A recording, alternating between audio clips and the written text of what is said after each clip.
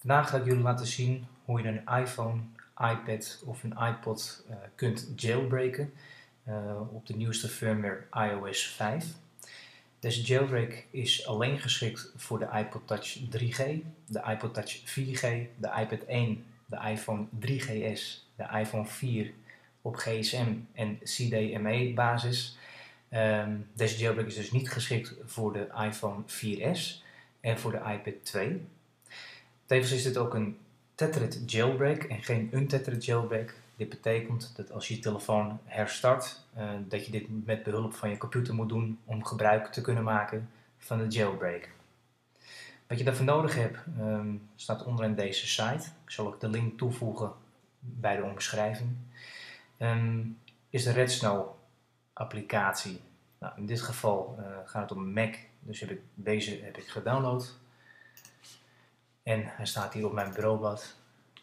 En je ziet hier de RedSnow tool. Voor Windows heb je ook nog een keer uh, de firmware nodig van uh, het, ja, het, toestel of het iDevice zeg maar, die je wil gaan jailbreken.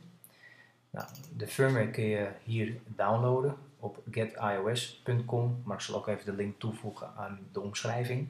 Hierbij kun je aangeven om wat voor iDevice het gaat, in dit geval om een iPhone, de iPhone 4 GSM en het gaat om de 5.0 versie. Als ik nu op download druk, dan begint hij met downloaden en dat ziet er zo uiteindelijk uit.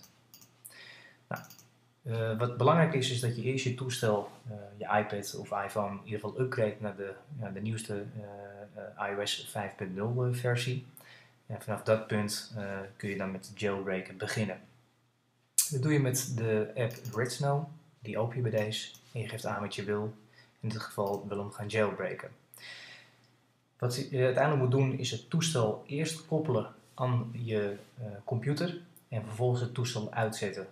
Doe het niet andersom, want anders bij het aansluiten van je uh, iDevice zal die weer aanspringen.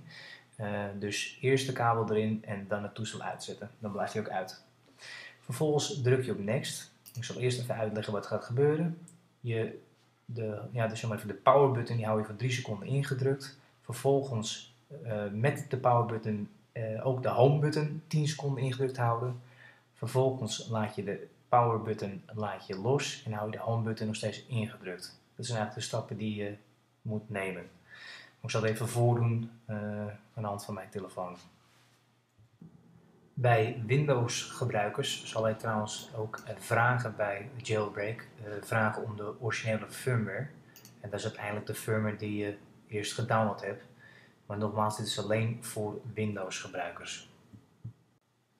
Ik zal jullie nu laten zien wat de bedoeling is. Uh, uiteindelijk jailbreak je toestel en druk op next. Vervolgens hou je de power button voor 3 seconden ingedrukt. Daarna de home button bij elkaar voor 10 seconden.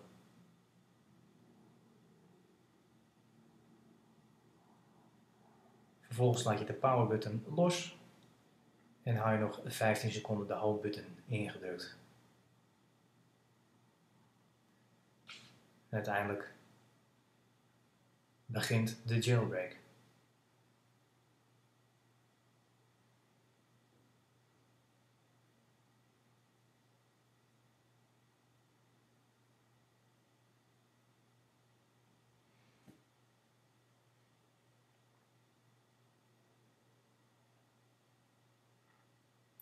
Deze jailbreak zal ongeveer een minuut of vier in beslag nemen.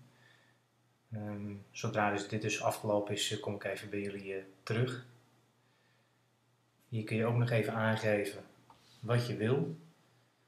Um, je kan bijvoorbeeld voor een iPad kun je ook nog multitask gesture eventueel aanvinken, ja of nee. In dit geval gaat het alleen voor Cydia te installeren. Je drukt op Next. En dan zal ik gaan beginnen.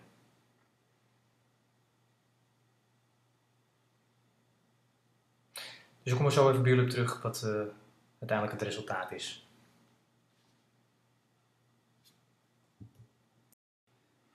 Na het jailbreken heb je een wit uh, Cydia-icoontje, zoals je hier ziet. En als je erop drukt, dan gebeurt er ook helemaal niks.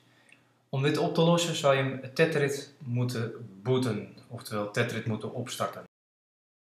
Om het toestel volgens Tethered te kunnen opstarten, open je weer opnieuw het Redsnel programma en de button extra's.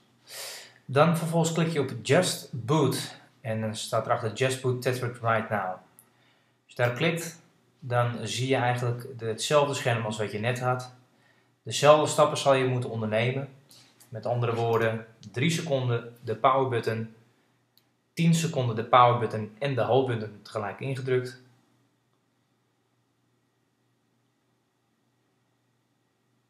Vervolgens laat je de power button los.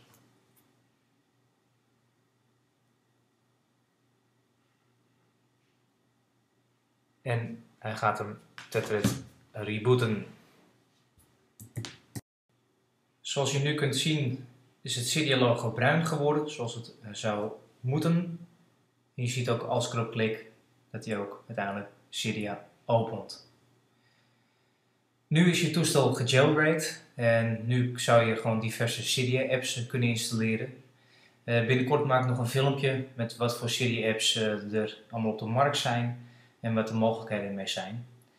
Dit was tot nu toe in ieder geval het filmpje hoe je een, een iOS device moet jailbreken. Bedankt voor het kijken.